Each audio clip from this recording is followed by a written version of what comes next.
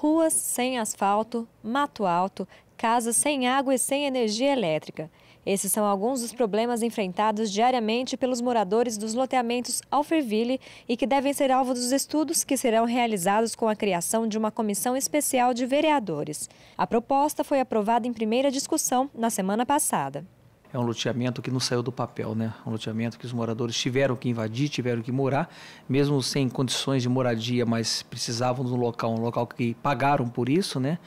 E hoje eles sofrem as consequências de terem que mudar sem a estrutura necessária. A regularização é o principal pedido dos moradores do Alferville desde a construção das primeiras casas.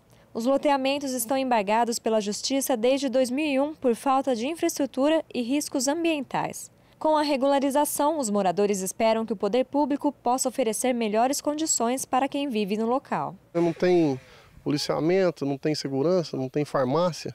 Se quiser, não tem condições de ter uma lanchonete, né, um, um supermercado, ônibus, tudo que você pensar que é direito do povo, que a gente paga IPTU por isso, né, imposto, nós não temos aqui, né? Sem a segurança necessária para brincar no bairro, as crianças ficam dentro de casa.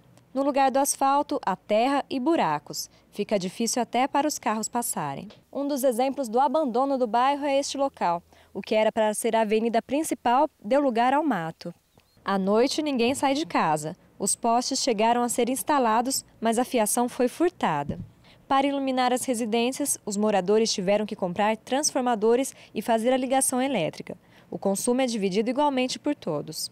Márcio, uma das principais reclamações dos moradores é o esgoto.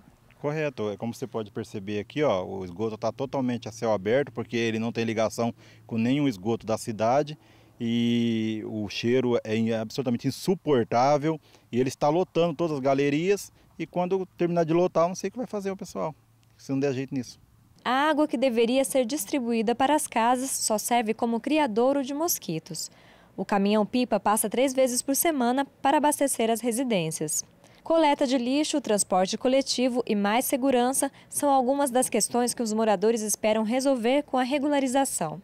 E a comissão de vereadores deve procurar alternativas para que isso aconteça.